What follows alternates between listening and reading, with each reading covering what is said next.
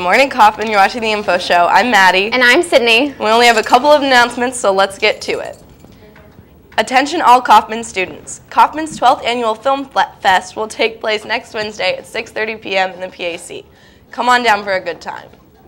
American Cancer Society Youth Ambassadors. There's a meeting next uh, meeting after school next week Tuesday in Mrs. Willer's room, B256, to discuss plans for Relay, and you must attend if you're going to Relay for Life. Please bring $15 for your t-shirt. Attention all girls interested in running cross country. There will be a meeting next week Monday at 3 o'clock in room A122. Bring a pencil. Attention seniors. Senior banners have arrived and may be picked up in the main office. Anyone working on the Buy the Dictionary campaign should report to school and be 263 Friday to help make the posters and bookmarks.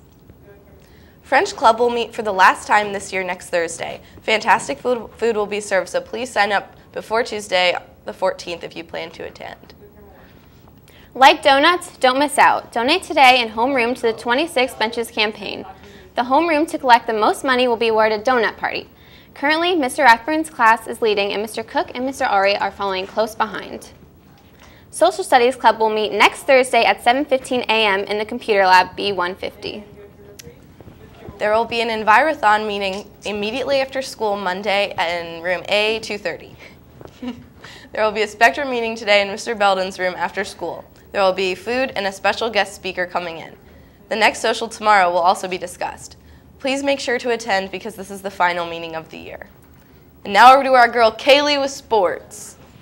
Thank you, Maddie. Woo. Hey, Coffman, the baseball team is away tonight at Olentangy Orange at 5. The varsity track and field team has their last invitational of the regular season tonight at Upper Arlington at 4.30.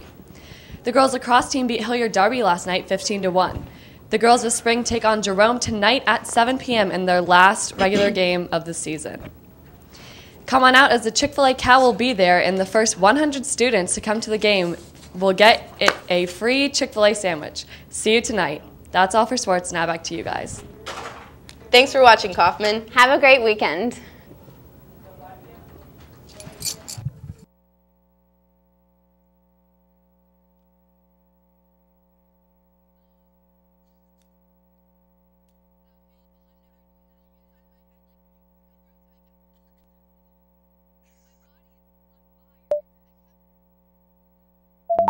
Say my name, say my name. If no one is around you, say, baby, I love you. If you ain't running game,